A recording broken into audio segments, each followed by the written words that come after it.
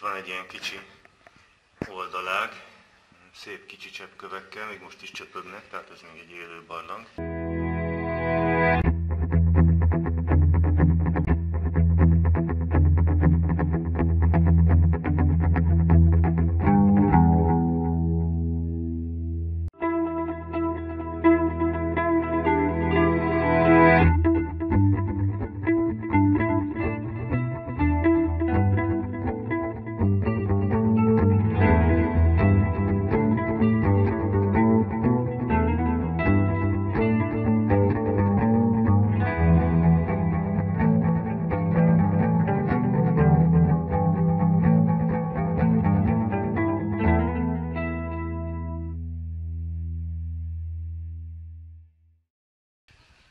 Következő túra, ez egy kicsit könnyebb lesz, ilyen levezető jellegű a tegnapihoz képest. Most itt vagyunk, mögöttem látszik a Apuszeni panzió, ennek a parkolójába hagytuk az autót. Én azért megbeszéltem a tulajjal, azt mondta rendben van, megengedte, így a biztos. És a Szerpentinen indulunk el, ugyanis ez a túra ez nem egy nehéz valami, egy szurdok bejárás lesz különben. Közben mutattam ott a Bulszkőnek a nagyon tipikus sziklacsoportja. Majd ide bevágunk egy képet, hogy miért is hívjuk inkább indián fejnek és nem Bulszkőnek. Ott a szeme, a sasor, ott a szája, kicsit ilyen csodálkozó, tehát mint egy csodálkozó Gojkó Mitics pofa Na szóval ott hagytam abba, hogy a, a túra maga nem nehéz, csak a kezdetét megtalálni nem könnyű. Mondanom sem kell, ez ismét egy jelzetlen túra, és akár nevezhetjük titkos túrának is, ugyanis általában szinte senki még csak nem is hallott róla. Na hát akkor kívánjanak nekem szerencsét, hogy megtaláljam, hogy honnan indul megérkeztünk a túra bejáratához. Ezen a völgyön fogunk fölmenni. Itt erről a Hát gondolom, hogy a szennyvíz lesz, tehát egy szennyvíz csatornára meg lehet jegyezni, illetve hogy két oldalt van szalagkorlát. Itt elvileg egy autónak talán még hely is volna, illetve ott arrébb, ahol az a piros áll, ott, ott három-négy hely is van és akkor csapjunk bele a lecsóba, és induljunk el a túrán. Itt eleinte még a civilizáció nyomai észrevehetőek, valamint egy csomó gomba. Igen, ez sárga kénvirággomba, gyönyörű fiatal telep. Jó tehet hányni tőle, hogyha valaki ebből pörköltet főz. Tehát valamiféle ösvény itt még van, így a patakmeder mellett.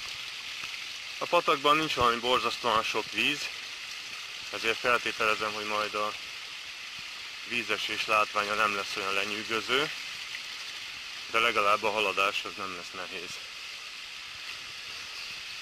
Tehát most el is árultam magam, az egyik látványosság, az egy vízesés lesz mégpedig nem is akármilyen, hanem egy nagyon speciális valami.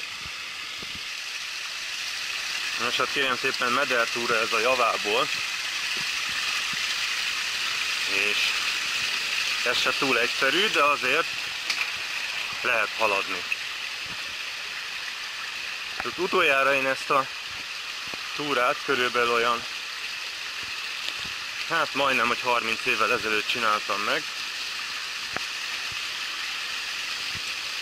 Akkor is emlékszem arra, hogy azért nem volt teljesen egyszerű a helyzet, de végül is mindig megoldottuk. Most nem ez a meglepetés vízesés, ez csak így közben egy ilyen kis dobogó.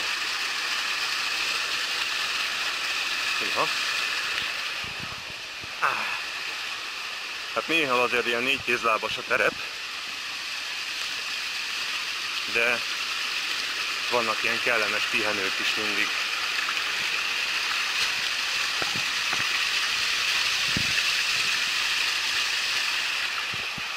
Még nem sokat jöttünk.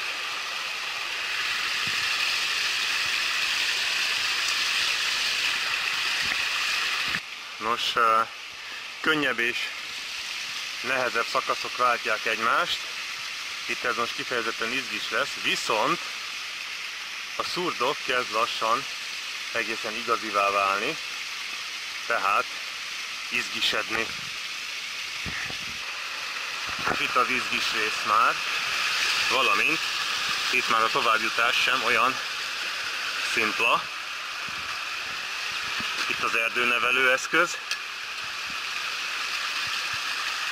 Hűha! Valószínűleg át kell kerülni arra az oldalra.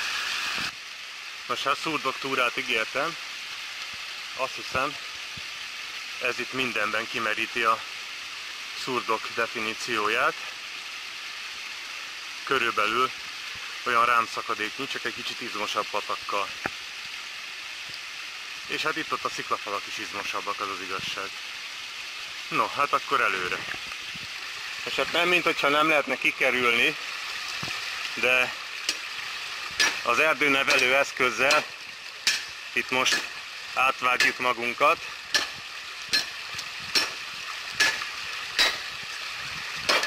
Már kalapálom egy ideje,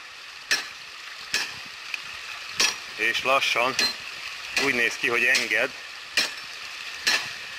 Persze nem azért, mert okos, hanem mert nem elég erős.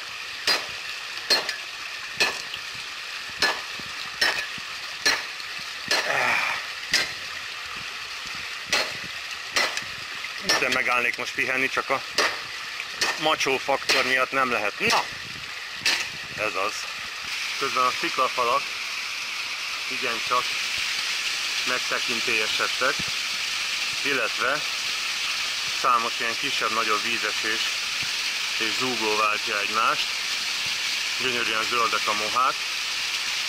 Egyébként pedig a patak neve a Valea Plajului, és igazából egyik túraleírásban sem szerepel ez a szurdok túra. Na de majd most meg lesz videón is. Arra megyünk tovább. Itt az előbbi zúgó most közelről, és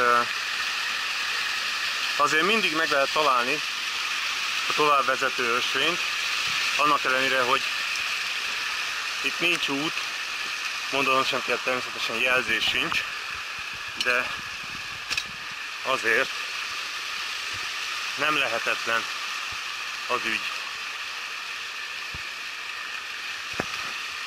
Még hogyha itt most egy kicsit annak is tűnik. De egy közelre érve mindig úgy kiderül a kép.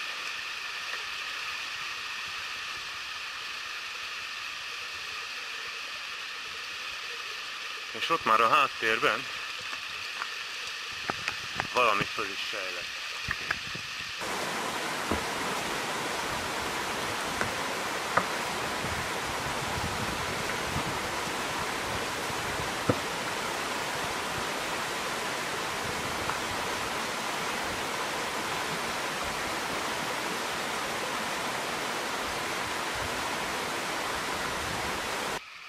Most itt közben a patakmederből följöttem egy ilyen kicsi barlangba, mert egészen pontosan már nem emlékszem, hogy melyik volt az, amelyiket keresünk. Ez ennyi sajnos. Erősen föl van töltődve mocsokkal. Előbb itt röbdösött egy denevér is benne. Tehát ez most egészen bemenekült hátra. Most a kuszodába nem fogok bemenni, mert valószínűleg ez ennyi. Úgyhogy most uh, következhet egy seggencsúszás lefelé, így a barlang szájából.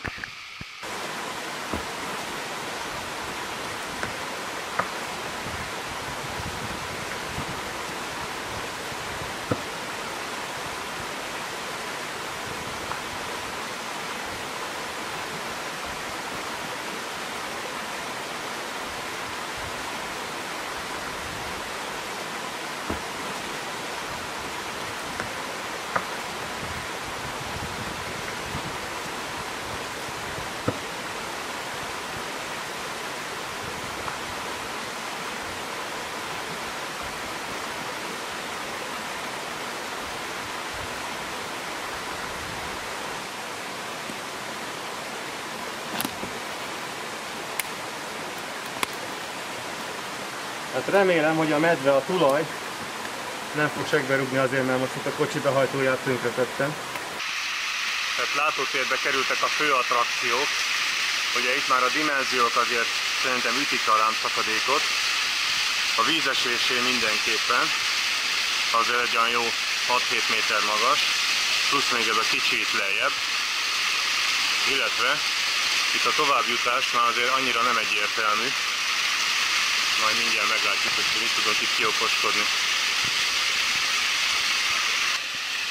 Hát az a helyzet sajnos, hogy itt uh, olyan akadály van, ami nem tudunk tovább menni.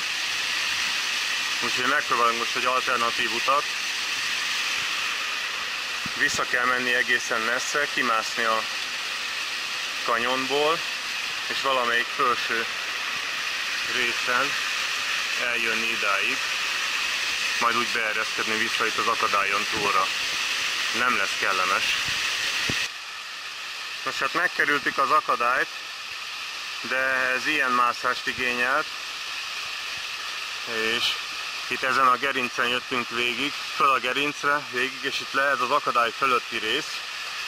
Igazából majd a, a látnivaló az itt lesz, itt van egy vízesés, ez a külső vízesés, és mindjárt lesz valami igazán szenzációs, ami állítólag Európában is ilyen egyedülálló dolog. Mindjárt megmutatom.